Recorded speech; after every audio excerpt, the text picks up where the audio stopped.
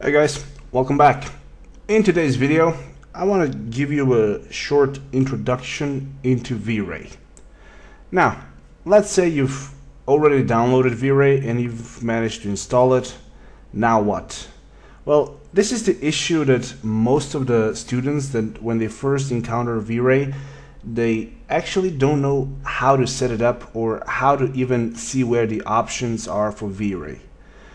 In the next few uh, posts or a few uh, videos I'm gonna make, I would like to make introductory videos in which you will be able to learn the basics of V-Ray, like how you can set it up, how it works, and basically where to find the options.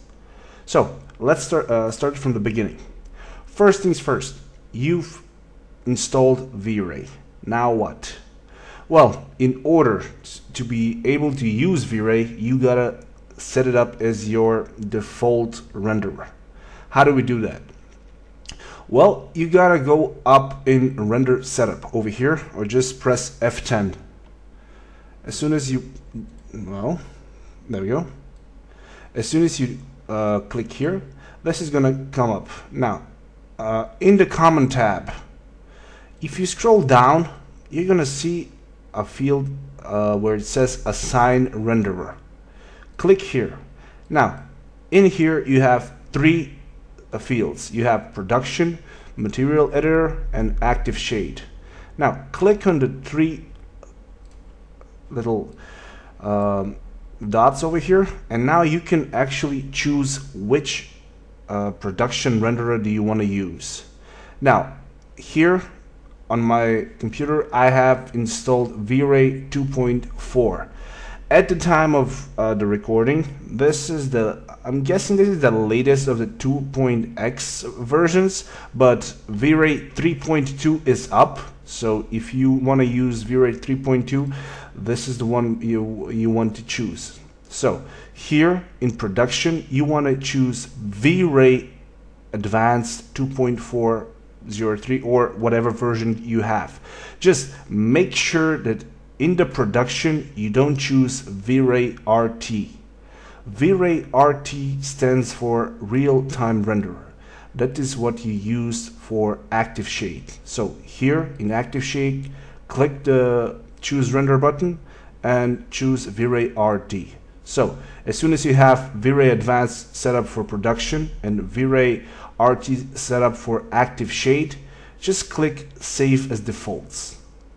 As soon as you click this, every time you start up Max, you're gonna have V-Ray set up as your default renderer. Now, let's close this and see what else we have to set up here.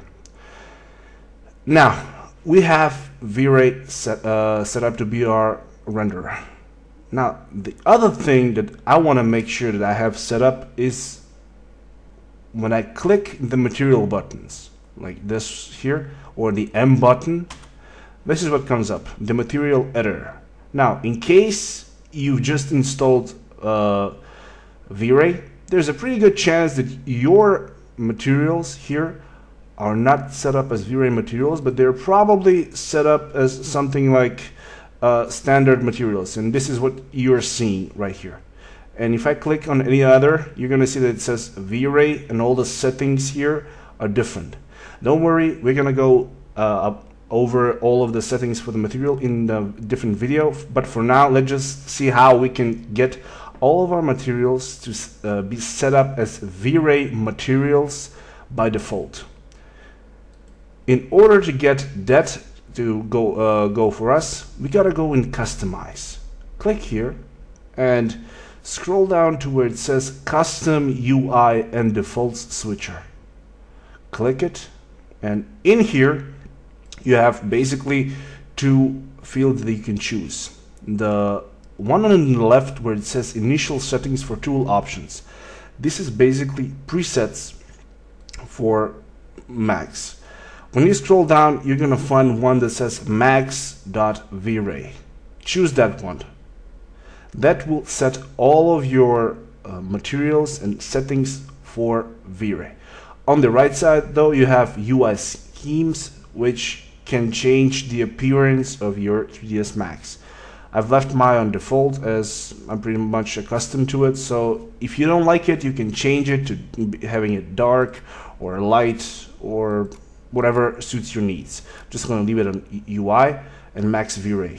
As soon as you set, uh, click set, it's gonna ask you to restart max. As soon as you do that, you're done.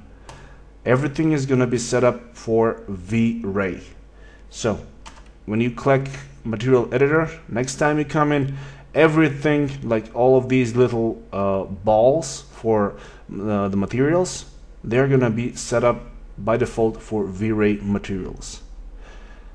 Now, the last thing we want to do and the last thing I want to go over in this video is for you to check and see if V-Ray is active.